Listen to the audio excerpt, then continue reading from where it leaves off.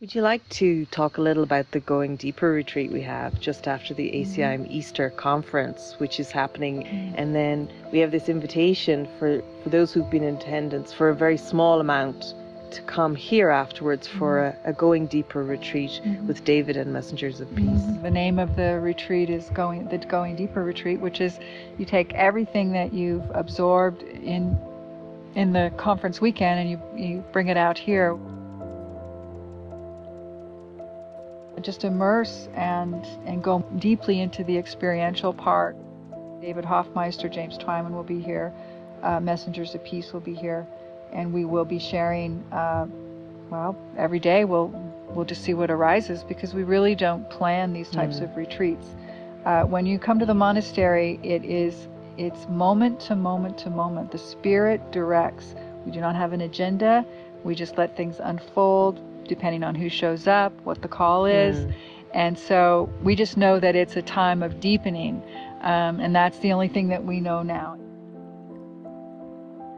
A lot of people have heard of the, the monastery, that it's a Course in Miracles monastery. So this is a beautiful opportunity just to, if you're coming already to the conference, uh, which we expect probably a couple hundred people at that conference. I think there's 10 different uh, speakers and teachers and it's a, a, an experiential type conference where it's really about dropping into the experience. So it all just goes hand in hand with the Going Deeper retreat. Sharing in that vibration of awakening, sharing in that vibration of the of the experience of the resurrection, of the elevation of the mind and heart, and to, to come together with that intention you know jesus says where two or more are gathered there i am it's like okay so let's let's do it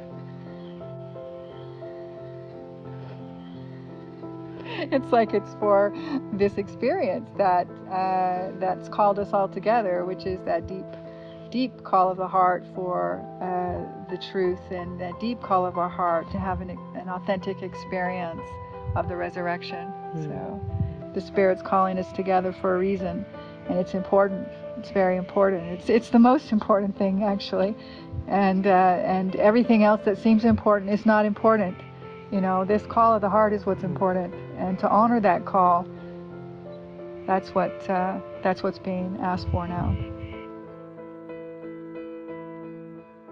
And so to be able to, you know, step by step, walk towards it, and this is a beautiful way to come together. Beautiful way to come together. So. Mm. Thank you.